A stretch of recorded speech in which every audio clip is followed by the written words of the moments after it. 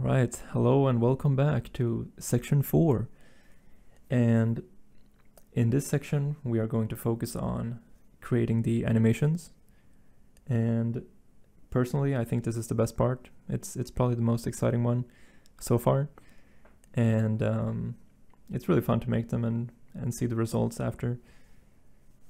Um, and yeah, the first thing that we want to change is the workspace because this workspace currently isn't isn't the best for animation. There's not, you know, we need some more windows, we need some more tools, uh, and things like that. So what we want to do is we want to uh, go to the preset up here, the animation preset. I click on that, and this is gonna open up like the default kind of Blender animation setup. And this is a really good base, but personally I prefer having a little a little bit more windows so having like a few different views and like the, the graph editor and stuff like that. So I'm gonna go ahead and modify this a bit. And we can actually add new windows by by dragging here. So there's like a little little thing here you can grab. And um, it might be a bit hard to see but it's like a little like a little thing that you can grab. And you can just Oh, that's okay. That's not what I wanted to do. Let's just create a new one and try from here. Okay, and we can just drag them down to create new windows like this.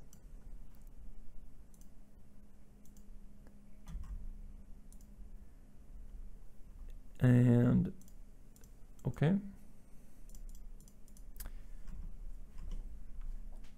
And this is going to be the window that we we use for um, you know rotating around the model and uh, selecting bones all that all of that. And um, and this is going the top window here I usually use this for like the actual animation view like what the player is going to see kind of. Make that a bit smaller. Um, so this top view is usually uh, from the first person camera, right? So I make this this into the top view. And we can actually do this by by selecting this viewport, by clicking in it, and then pressing uh, the zero numpad. And that's actually going to focus the camera uh, on the camera. So it creates this little nice window here where you can actually see uh, from the camera view, which is very useful. And we can actually hide these this top part here so we can select, uh, right click here and disable show header. So we just have like a nice clean camera. And let's go ahead and drag this down as well. Make it a bit smaller. And we do want to keep this one, the timeline, but we could put it up here instead, like so. And like that. And I usually keep this one, the left window, left, bottom left. This is usually my, uh, the action editor, it's called. And this is where we're gonna be adding new animations. This is where we can uh, modify keyframes, we can move keyframes. Uh, we can also select animations from this list here. So this is very useful to, to keep here. And then at the top, I usually have the uh, graph editor, which is the curves, uh, the animation curves for the keyframes. And we're to get into that a bit later, but for now, uh, let's just keep it like this. So the graph editor in the top left, and the action editor, or the, it's, it's called the dope sheet here. So it's, a, it's dope sheet and then action editor here. And then the bottom one is the timeline, which gives us this, you can kind of scrub through it and and play and stuff like that. And then the bottom right is the 3D viewport. And the, the top right is just the camera. Let's make these a bit smaller maybe.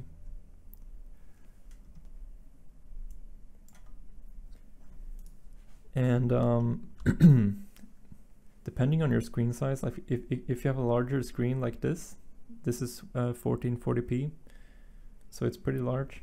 You, you can, it's, it's totally fine to have like four different screens on one screen. But if you have like a smaller screen, like 10, 1080p for example, then you might want to keep some of these on like an external monitor. Like if you have an extra screen or something like that, it would probably be better to keep the curves on a different screen and then like the main main animation uh, windows on one screen so they're a bit bigger. Uh, yeah. So now we have a nice uh, nice setup going here.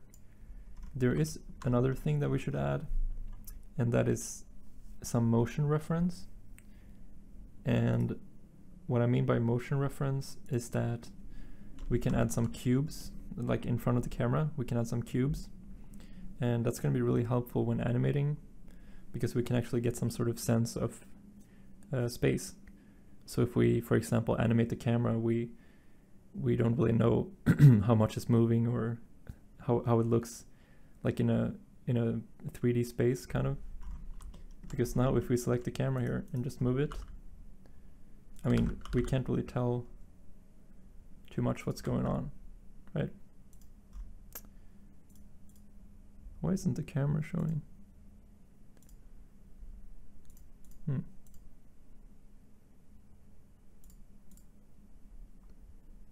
Ah, there we go. okay. And uh, yeah, so I'm just gonna go ahead and add some cubes.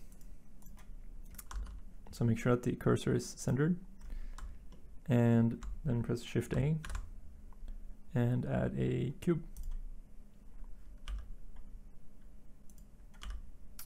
Let's just drag it out and place it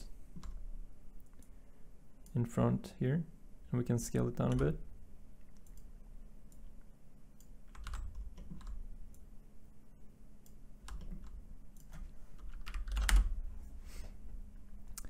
And let's go ahead and apply the, the scale.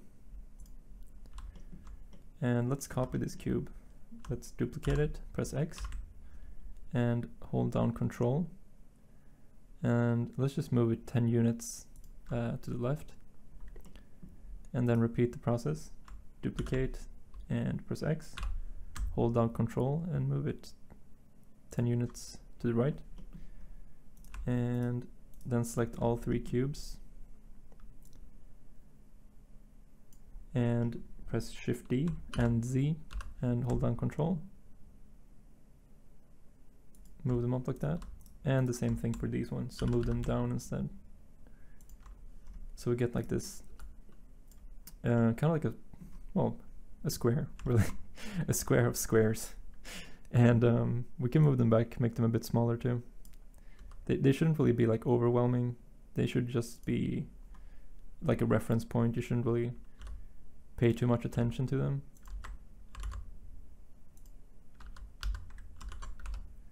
Um, so you, you, can think of them as more like a, yeah, just like a reference really. And we can place them around here.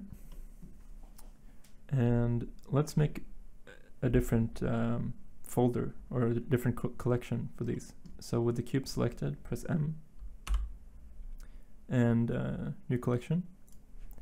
And let's call this one uh, motion reference. And hit OK.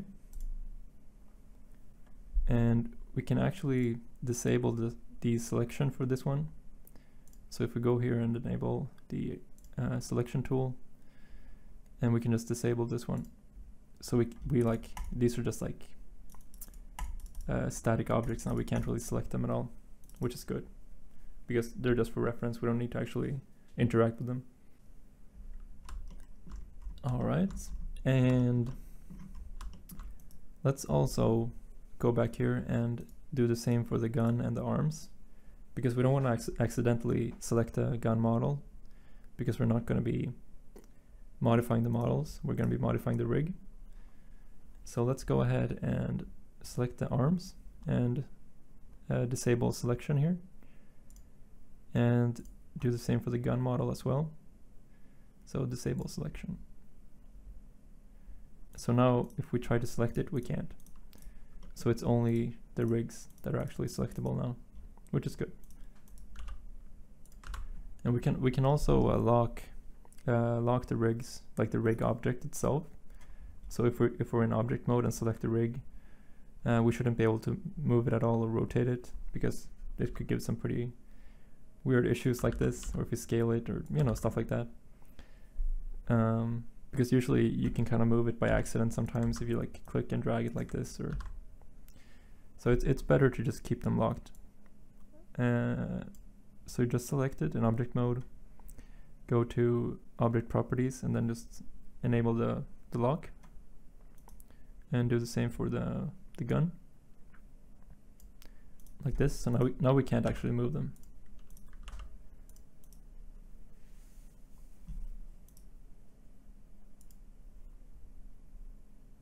All right, and uh, that's all for this setup. We can also, actually we can also disable this one. There we go. Much cleaner. yeah, but uh, yeah, that's all for this setup. Um, now it's just yeah ready to start animating and uh, start working with that. But here's the the base setup that we we are going to be using, and the Windows setup as well. And um, yeah, I'll see you guys in the next lecture.